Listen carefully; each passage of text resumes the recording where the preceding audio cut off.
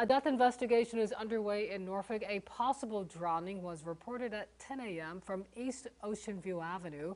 First responders discovered a woman had been pulled from the water but was found unresponsive. She died on the scene. Investigators say no foul play is suspected. The chief medical examiner will determine the cause of death.